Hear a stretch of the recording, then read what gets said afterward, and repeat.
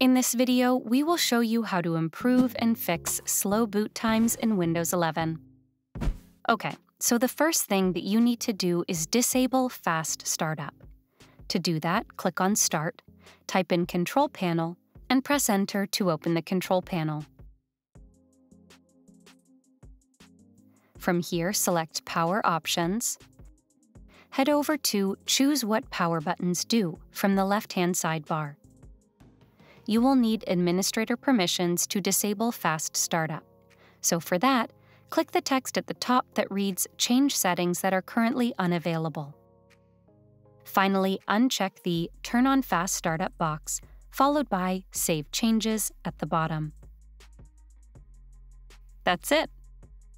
Next up, when your PC is loading up, you do not really need most of the apps starting up, and that's why it's recommended to just disable them.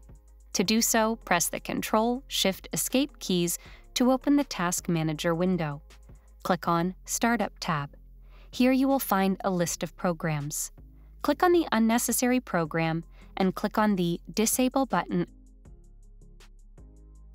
Once done, reboot your PC to see the changes. Hopefully this video has helped you in improving boot times in Windows 11.